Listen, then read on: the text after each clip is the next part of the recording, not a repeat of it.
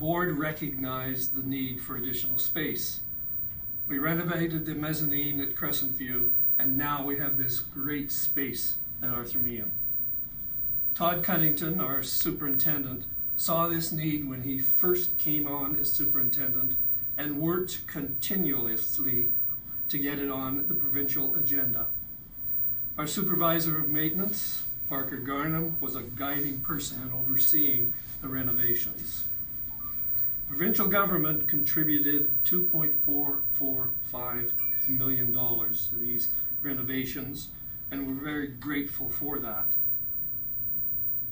This included the initial drawings and environmental assessments that needed to be done because, as Kristen mentioned, this space was an automotive teaching area.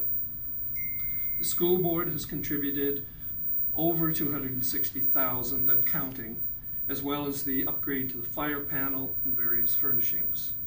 We are pleased that this got done on time and on budget, and Louis, I will ask you to cut the ribbon. Go!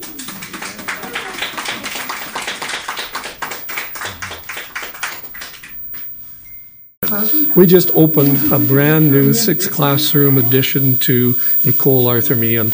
Um, this has been a long time in the making, and uh, we've gone from an automotive area that could no longer be used because that was moved to PCI to this, and it is beautiful. The teachers love it. It's new, it's it's bright, and uh, we're really pleased. The provincial government provided the majority of the money for this, with the school division contributing as well as we always do with these kinds of, of projects.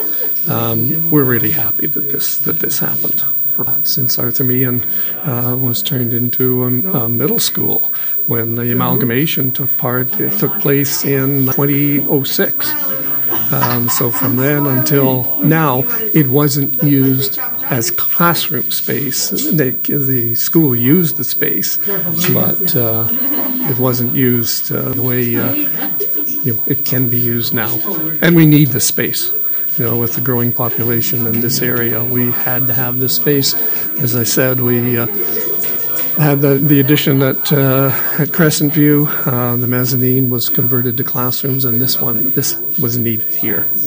We moved the grade fours here from Crescent View. We're so pleased that uh, we could do this and that the provincial government provided the money, saw it and provided the money. And got to give all the credit to our superintendent, Todd.